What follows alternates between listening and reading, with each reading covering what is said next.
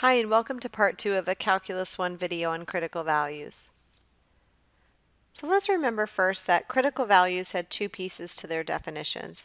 It's not only where the slope of that tangent line is zero, but it's also any new restrictions to the domain of f prime. So we need to look at the domain of the original, the domain of the derivative, and see if there's any new restrictions. So let's take a look. So if we're looking at this problem right here and we're just asked to find critical values, we would go ahead and start by finding the domain of this original function. So let's be careful because just because we see the square root symbol or the radical does not mean we actually have an even root. And if you look, we have an odd root. We have a third root. So what that means is I can have a negative value in my radicand because the cube root, for example, of negative 8 is negative 2. So my domain here is unrestricted, negative infinity to infinity. So let's go ahead and find the first derivative. If I look at a rewrite of my original function, this is x to the 2 thirds minus x to the 1 third, power over root. So the derivative of this function would be 2 thirds x to the negative 1 third, if you subtract 1 from that exponent, minus 1 third x to the negative 2 thirds, just doing power rule. I highly suggest a rewrite so we can see if our domain has changed. So in this rewrite, I have 2 over 3x to the 1 third minus 1 over 3x to the 2 thirds.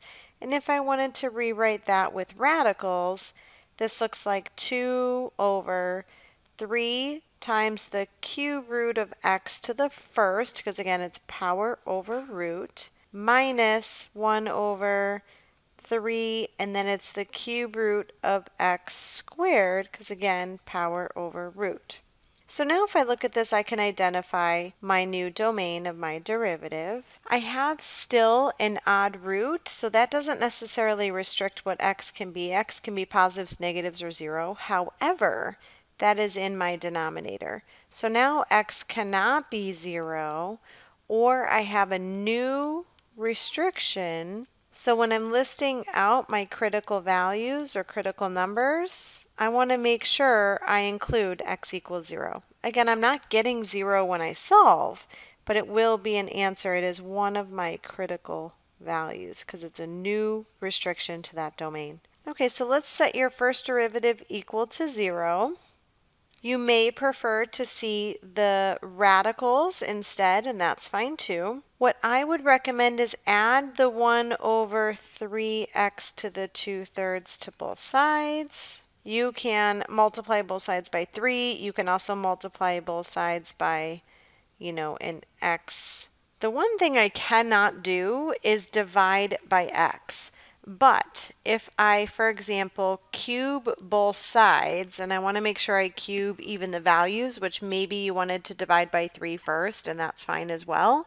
But if I cube both sides, I get 27x to the first equals 6 cubed. So again, we might want to divide by 3 first, but if you don't, here's what you end up with. 6 cubed times x squared. 6 cubed is 216, but I can divide both sides by 27. That's the 8. I can set this equal to 0 by subtracting the x. I would never want to divide that out because then I'm losing potential answers. 0 product property there. Okay, so look, I got x equals 0 as an answer. But if we take a look, that is a domain restriction. X cannot equal 0. The only reason I got extra solutions that don't work, you got an extraneous solution, is because you cubed both sides. If we square both sides or cube both sides, sometimes we add answers onto our solution set that may or may not work. Those were called extraneous solutions. In this case, we know x cannot be 0 specifically, so I would want to exclude it. The only reason it's part of my critical values list, remember, is that it was a new restriction to my domain. I'll add the x equals 1 8 to my critical values list. That is a solution of where my First derivative is 0. But the other critical value came from the idea that it was a new restriction. And again, that's just one technique of solving. Hopefully you have a technique of your choice from your college algebra course. Okay, let's look at another one. Certainly one option could be I could multiply this all out and expand the quantity x squared minus 1 because it's only cubed, but I'm just going to leave it and apply chain rule when I go to do the derivative. So let's stop and pause and find the domain because again I'm going to need to compare this domain to the derivative domain. So you need the domain of the original function. I can put anything in for x that I want. There certainly is no restrictions there. So let's go ahead and find the derivative. So f prime of x, I'll bring my exponent down, keep my base the same, subtract 1 from my exponent, Chain rule times the derivative of what's inside would be times 2x. All right, let's pause and let's find this domain. All right, so the domain here, well, there's still no restriction. I still have basically a polynomial function if I multiplied it all out. I have no restriction for x, so I have no new restrictions so I have no additional numbers to add to my critical values list. The only values that are going to be in my critical values list are going to be ones where my first derivative is equal to 0. So that's at x squared minus 1 equals 0, and that's where 2x equals 0, because I already have it factored.